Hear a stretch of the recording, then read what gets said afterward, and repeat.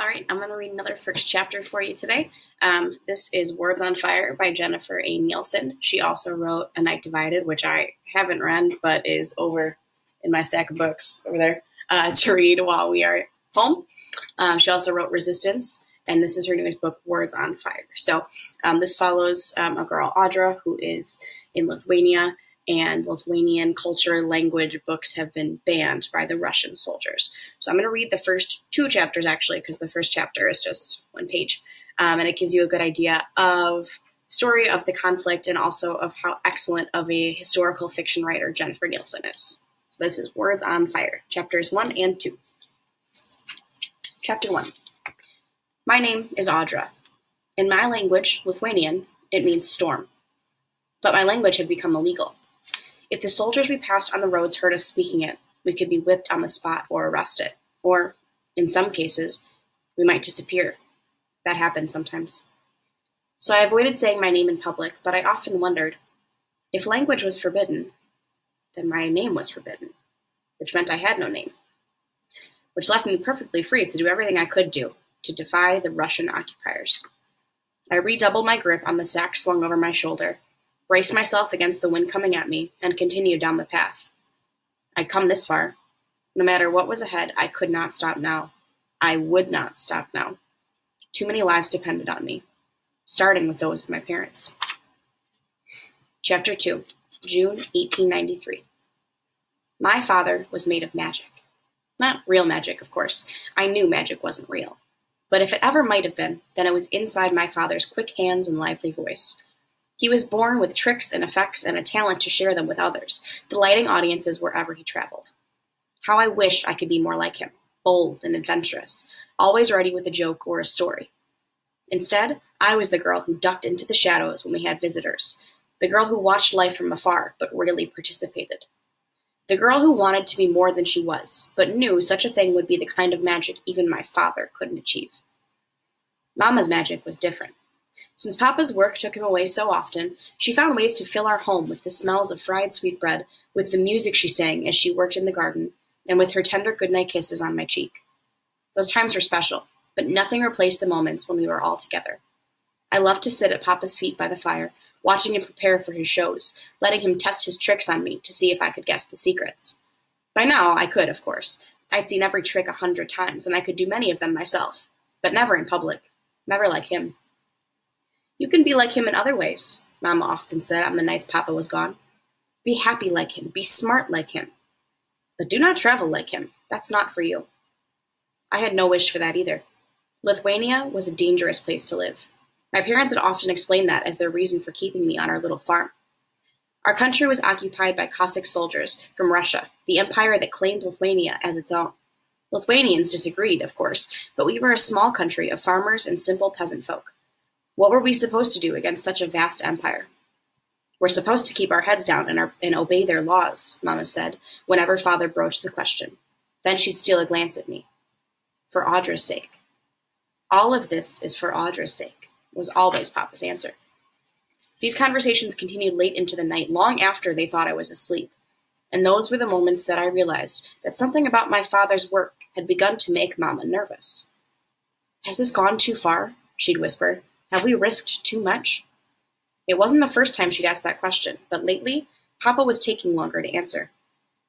On this night, he finally replied, Everything is fine, my love. This work is more important now than ever. Then his work wasn't magic shows. Not really. My father must have been involved in something more serious when he traveled, something that made Mamma anxious. Then she offered another question. Do you think Audra suspects something? If I did, then that was all I had a suspicion of something. And Papa's assurance that I didn't know what they were doing began to feel like an itch I couldn't scratch. I needed answers. To get them, I began secretly listening in on their conversations, becoming so good at it that I could sneak up close enough to touch them, and they wouldn't realize I was there. One scrap of information at a time, I began to understand that something in my father's travels was illegal and dangerous, and that Mama feared one day he would make a mistake, and we'd all be in trouble. Every discussion they had ended in the same way, with their agreement to keep me out of their business. That is, until the summer after I turned 12. On the evening of the summer solstice, solstice, Papa said to my mother, Audra should come with me tonight. I immediately sat upright, wondering what might have made him suggest such a thing. He was seated in his chair at the table and had been reviewing a card, trip, card, card trick for tonight's performance. Laid out on the table was his brown leather shoulder bag, the one in which he carried most of his tricks. At his side was a tall canvas sack containing extra clothes and provisions for his travels from one village to the next. He wore that on his back and rarely traveled with anything more. Did you hear me, Lena? Papa asked, giving me a wink as he did. Audra should come. Mamma didn't even look at him to answer. You're going on to other villages after the show. Audra won't know how to get back home. Mamma was stirring a stew for the night, making extra for Papa to take with him. Her voice was usually soft and gentle, but I heard the warning in her tone tonight. There was no chance of me going. But he wasn't giving up. We'll stay in our own village square, and there will be festivities all around. She won't be in any danger tonight. How do you know that, Henry? People have been disappearing from our village. We both know why. Audra is still young. Will the soldiers care about that? Father set his cards down. She must learn to see our world the way it is. The way our world is, Audra is safer here. Ignoring danger does not protect us from danger. Let me teach her. His voice lowered almost to a whisper. I've been giving this a lot of thought. She's better off if she knows. Mama crossed the room to face him directly, standing at my side. Henry, we have an agreement. By then, I was sitting up even taller, trying to figure out what they were talking about. What is the agreement? Mama, I want to know. Mama folded her arms. You don't understand what you are asking.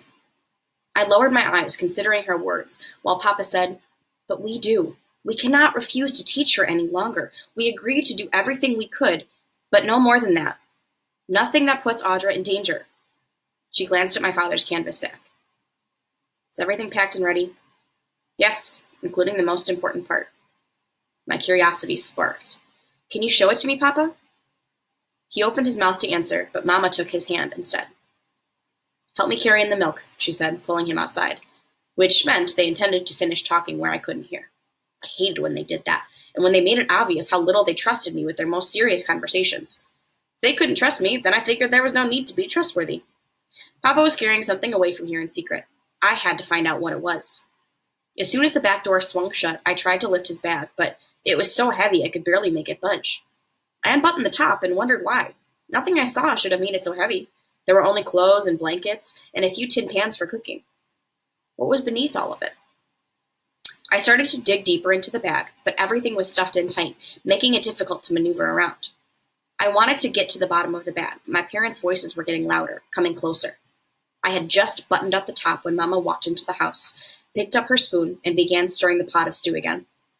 After a long sigh, she said, Suppose the midsummer festivities only come once a year. If I go too, then Audra and I can return home together. From where he stood in the doorway, Papa's eyes twinkled. They often did. That was one of the ways I knew magic was inside him. I wanted my eyes to sparkle just as bright. And Mama tried her best to smile, though all I saw in her eye was worry a glimmer of sadness I noticed more and more often, especially when Papa was away for his shows. And last winter, he'd been gone quite a bit, though he'd left his bag of magic tricks behind. On those trips, she did more than worry. Sometimes I heard her cry in the nights, long after she thought I was asleep. Rubbing his hands together, Papa returned to the table and faced me. Even with your mother there, you must follow our rules. My heart leapt with excitement. Whatever the rules, whatever the conditions, I intended to agree to all of them, anything so that I could go. I know the rules, I said. Avoid the Cossack. There is one policeman in particular you must avoid. His name is Officer Rusakov, and he is new to this district. He must have something to prove with his superiors, for he is strict with the law. All laws. We speak, speak Lithuanian here at home, but out there tonight it must be Russian, even if you believe you are surrounded by friends. Rusakov has spies, informants. I never caused trouble, Papa, you know that. I wasn't a rock thrown into the pond. I was a leaf that fluttered onto the water, where even the breeze wouldn't notice me. And if anyone asks about school, tell them you are not interested. I wasn't interested. I had enough to do to help around the farm. School could not offer me anything better than the life I already had. Also, if you should get lost, I can find my way home, Papa. I wasn't allowed in the village, but in the daytime, after I'd finished my chores, I sometimes wandered the forest behind our home, and I knew the trails well. My parents didn't know that, not even my father. Mamma began stirring the stew again. If you want to go, then finish your chores. I immediately grabbed a basket to gather the eggs and went outside, lingering in the doorway long enough to hear Mamma's whispers to Papa. I think we're being watched. I passed a package to a woman in the market last week and felt a shiver run up my spine. The door closed behind me, but I froze in place there, unable to fully understand what I had just heard. Mamma was not a bystander in my father's work. She was part of it. When she spoke to Papa of the risks and the dangers, she was talking about her own safety too. And now they were speaking of sharing their secrets with me. I had spent months trying to find out for myself, but suddenly, I didn't want to know. I wished I hadn't even heard my I wish I hadn't even overheard my mother just now. But I had, which would change everything about attending the midsummer festivities tonight. I needed to tell them that I knew more than they realized. Then at least we could talk openly. I turned to enter our home again, but instead I pressed my ear against the door in time to hear Papa say, We're making a difference. I can feel it. The Russians can feel it too, Mama said. They've occupied our country for decades. Nothing we do will change that. At least they might acknowledge that this is our country. We are not Russians. We will never be Russians. Don't they see how important this is? I know it's important. That's the only reason I'm coming along tonight, to help with this delivery, and to be sure we're all safe by morning. Audra can help, Papa said. She is quiet, but she listens and watches, and she is smart. She's not ready, Henry. Because we haven't prepared her. Let me teach her. Let her show let me show her all there is to know. Another year, Mamma said softly. Another year, and then we will teach her. Please. After a brief moment, Papa agreed. Another year. Then whispered his love to Mamma, and, at least for the moment, everything became right again in my world. Tonight would be better if they believed their secrets belonged only to them. I would tell them tomorrow, and we could enjoy this evening. Mamma had described the festivities to me every year, but this was the first time I'd be allowed to go. This night, the 23rd of June, was the shortest night of the year, and it was said to be a night of magic. Herbs gathered from the meadows on this night would have special healing powers, and the grasses could be woven into wreaths that could predict the future husband of the girl who wore it on her head. I knew such things were nonsense, but an entirely different kind of magic from my father's. But it didn't matter. I was so excited to go that my parents' secrets became pushed to the back of my mind. They were too serious for such a beautiful day. I was saving all of that for tomorrow, after the festivities. After supper, I went to my room to change into my finest clothes a white linen skirt and blouse with a green vest and matching plaid apron, finishing it off with a white woven sash around my waist. Then I rebraided my hair, careful to brush out the long blonde strands first so they'd be neat and shiny in the moonlight. I wanted everything to go perfectly tonight.